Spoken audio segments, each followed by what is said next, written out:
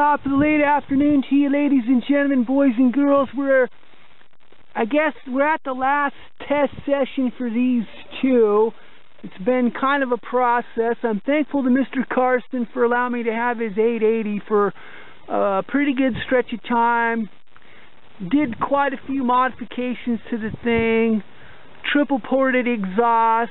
Um, thing actually spins up now and it kind of beat my 084 this saw has the torque tune but it's down on horsepower about two tenths straight away. Part of that's going to be the intake. Hopefully I'll remember to check that in the end.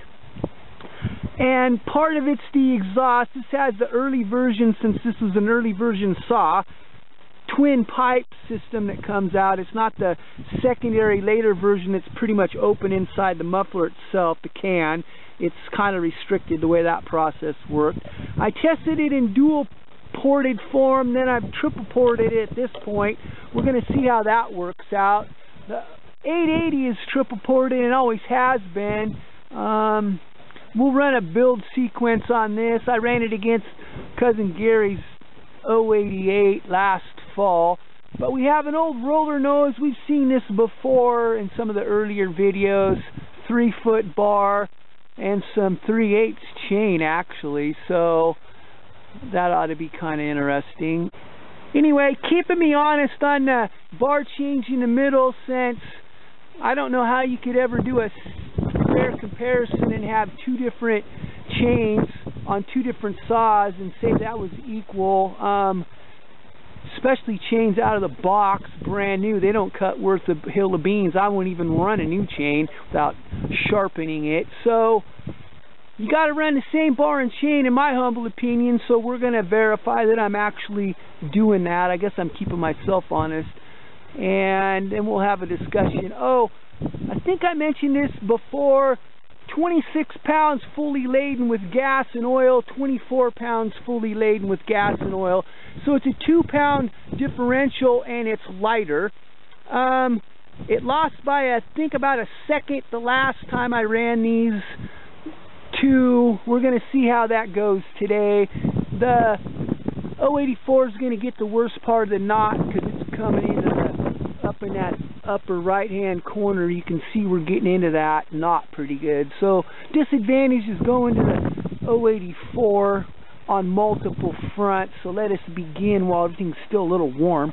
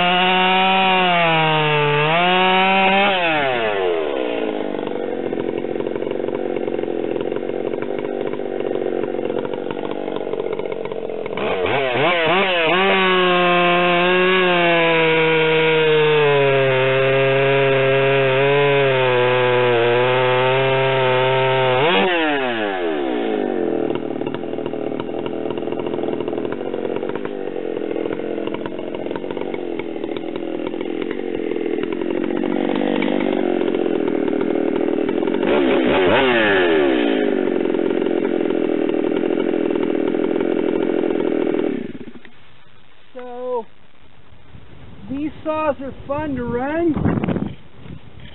but they're not fun to pack around on a side hill with a long bar. This would be an extreme short bar. I wouldn't even bother running one of these saws trying to fell timber with this short of a bar. It was uh, 42 and up back in the good old days. Maybe we'll turn this a little bit and check it out.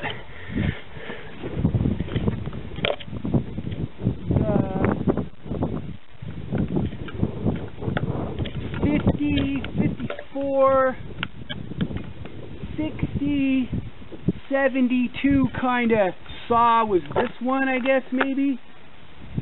Uh, the 090 was kind of a kind of an operation, I guess. But so I had a few of the 084s back in the 80s and a 3120.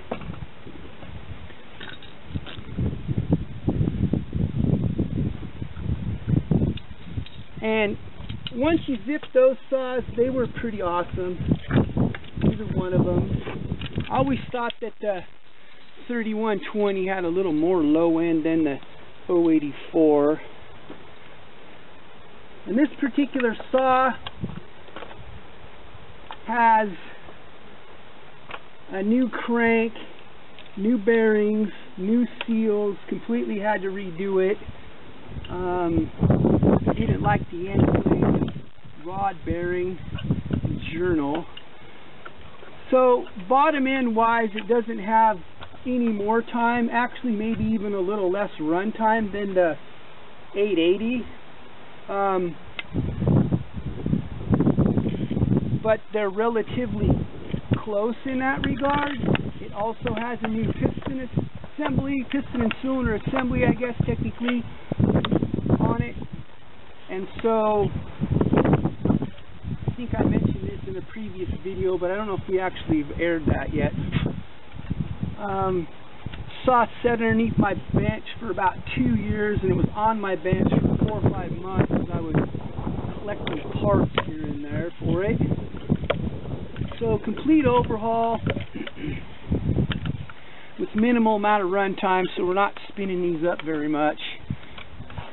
And they're both running 8238 sprockets, so we're spinning them up. The wood is some kind of a hybrid cottonwood, I guess. There was mumbling that it was hybridized with something like aspen. I don't even know for sure, but it's not just plain cottonwood. And it grew out in a field, and we get a lot of wind around here. I'm sure we're starting to understand that with all the saw testing because it's generally windy. They were out in this field, some project test, no water, and out in this wide open field just getting pounded with wind. They were actually pretty stringy on the stump. Anyway, I ended up with some of these. They've been dead for a while. And bar wrench isn't working. So we're going to have to take a time out here for a second.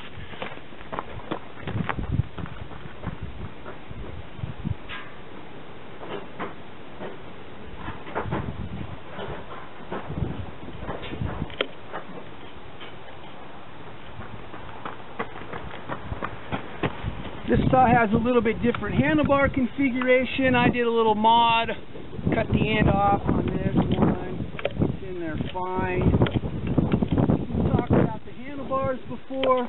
I like this version right here because if you're running a long bar, if you start looking at putting that engine on its side, like this, definitely the further this distance, the better you're going to be able to control that tip. Anyway, we're warming this one up now.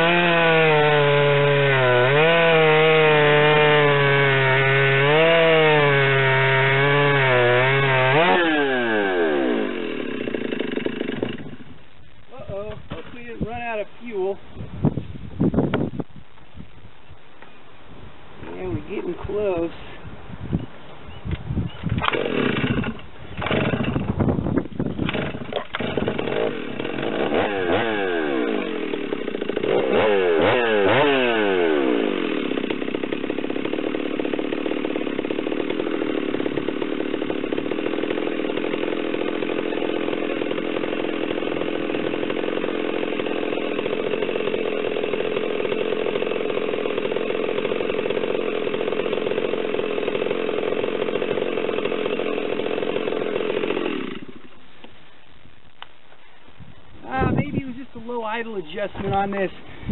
Haven't run these for a while. It was pretty cold the last time, air temperature wise.